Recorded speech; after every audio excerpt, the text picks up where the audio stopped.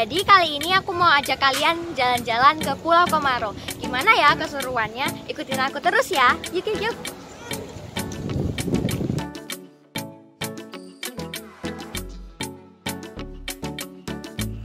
Nah guys, aku mau ajak kalian menyusuri Sungai Musi dengan perahu nih. Ikutin keseruannya yuk.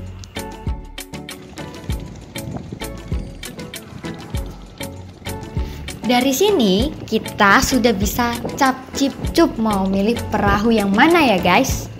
Aku langsung nego harga ke pak supirnya dan dapat harga 150.000 untuk menyusuri Sungai Musi selama kurang lebih 2 jam loh.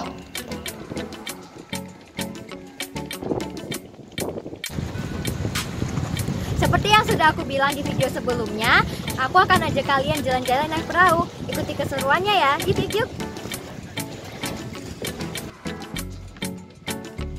Oke guys, sebelum kita lanjut, jangan lupa subscribe ya.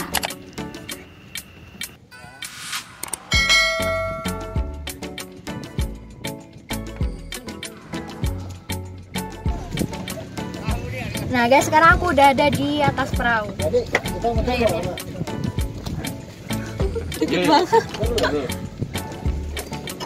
Ini kedua kalinya aku naik perahu dan aku naik pertama kali naik perahu itu 2019.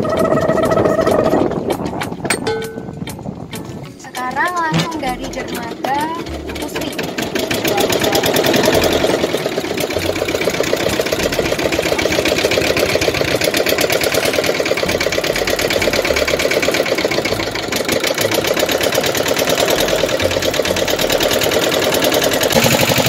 Kita muter-muter dulu ya guys.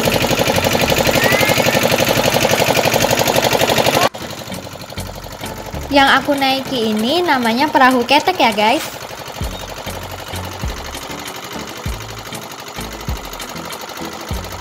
Pak supirnya ada di belakang ya guys. Nah, itu ada pabrik pusri guys. Dari atas perahu, kita bisa melihat pabrik pusri, pupuk Sriwijaya.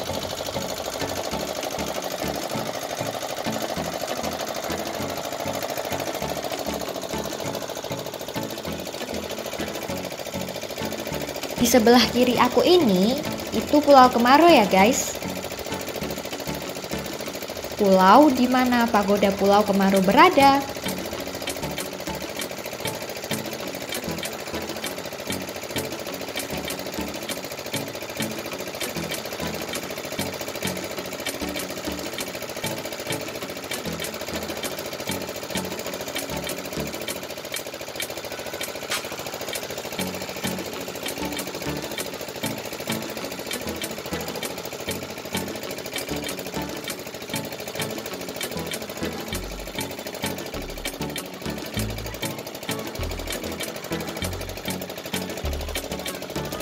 Itu dia guys, pagoda Pulau Kemaro.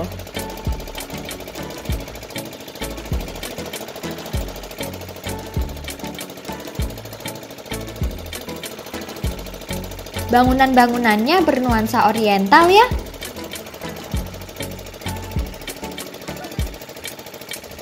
Karena memang bangunan ini peninggalan dari tetua yang beretnis Tionghoa dan ada sejarahnya ya guys.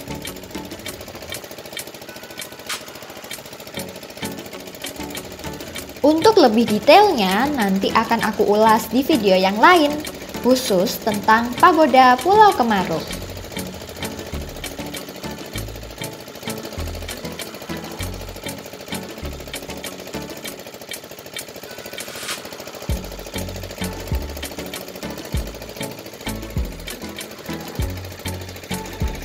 Dari kejauhan, pagodanya nampak indah banget ya guys. Dan suasananya tuh seperti di negeri Cina. Padahal ini di Indonesia loh. Terbukti guys, kalau Indonesia itu sangat kaya dan beragam. Bineka Tunggal Ika.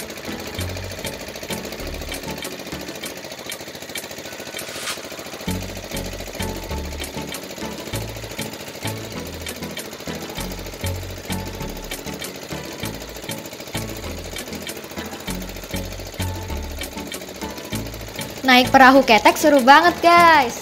Santai gitu, nggak terlalu menguras adrenalin. Karena jalannya juga pelan-pelan guys. Paling cuman khawatir nyemplung aja. Hehehe.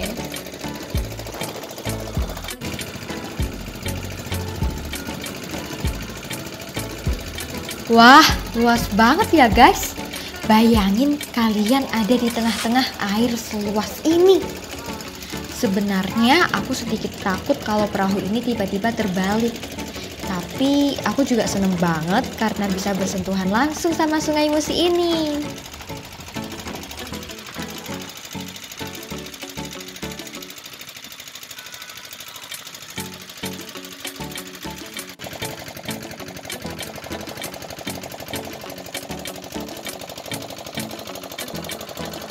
Tonton terus video aku sampai habis ya guys.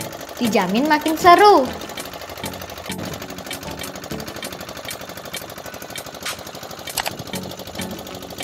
Jangan lupa like, subscribe, dan komen ya.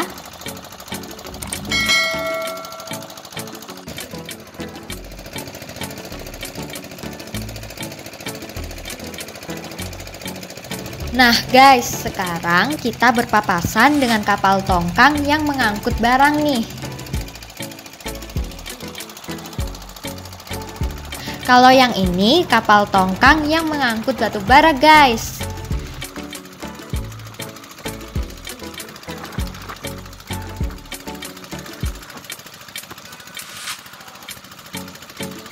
Kapalnya bersandar di sini karena sedang menunggu jadwal keberangkatan.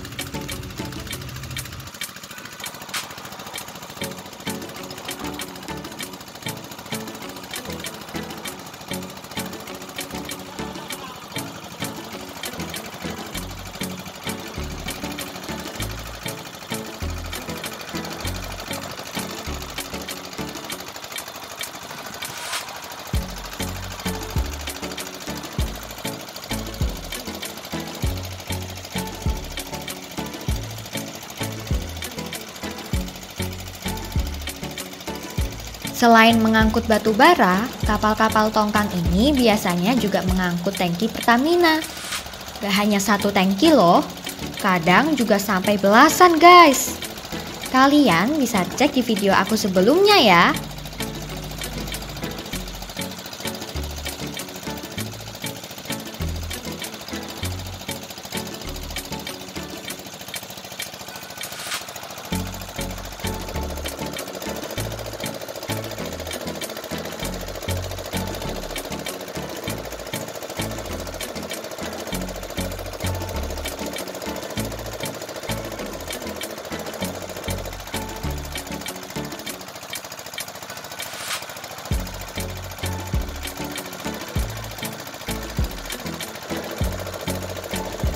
Sore-sore kayak gini pas banget buat naik perahu.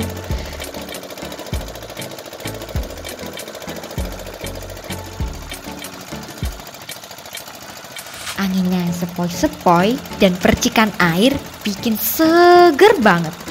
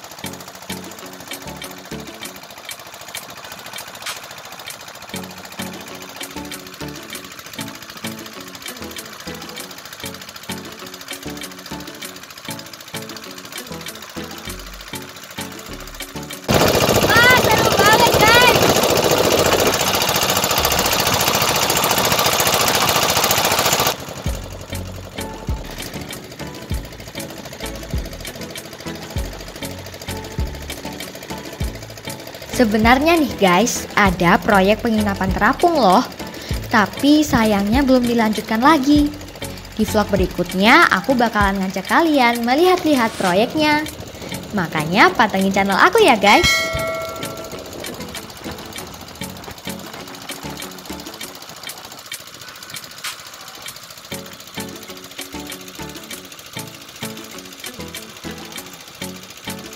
Dengan menyusuri Sungai Musi ini, kita bisa menyaksikan dari kejauhan kampung-kampung di sekitar Sungai Musi, seperti perkampungan Sungai Lais.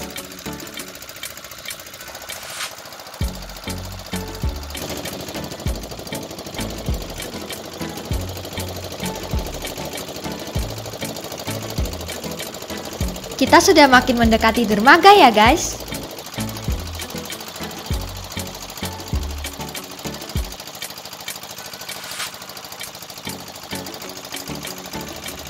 Ada apa tuh? Kayaknya ada yang mau berpapasan sama kita nih.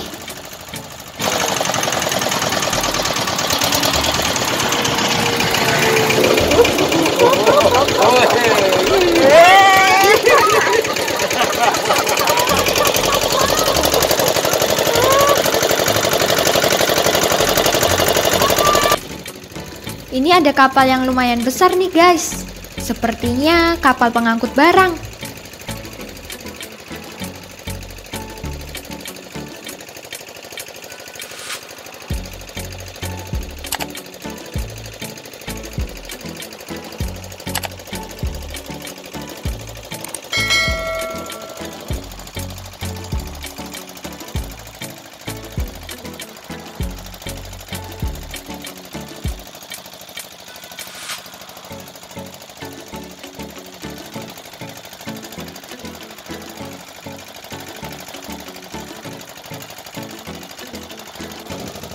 Wah, pagodanya udah mulai kelihatan nih guys.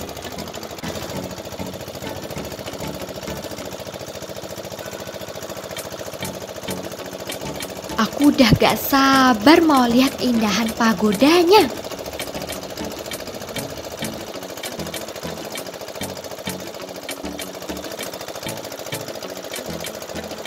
Nah, ini dia guys, suasana di sekitar dermaga Pulau Kemaru. Cukup ramai ya guys. Banyak kapal dan perahu yang bersandar di sini.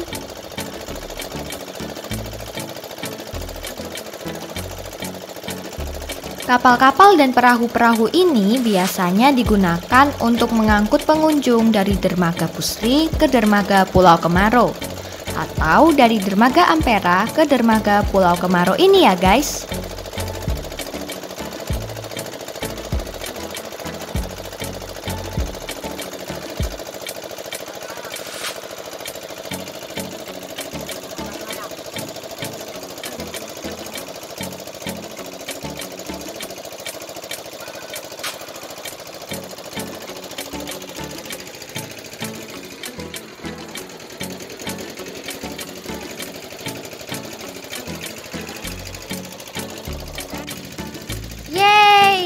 Sudah mau sampai nih.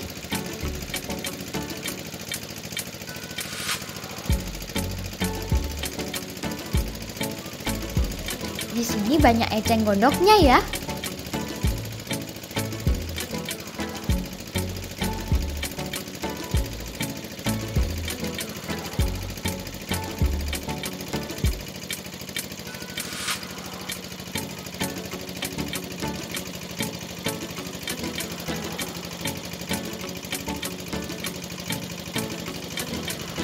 Oke guys, itu tadi perjalanan aku menyusuri Sungai Musi. Gimana nih guys, tertarik untuk berkunjung ke Palembang? Pokoknya kalau ke Palembang jangan lupa untuk mampir menyusuri Sungai Musi ya.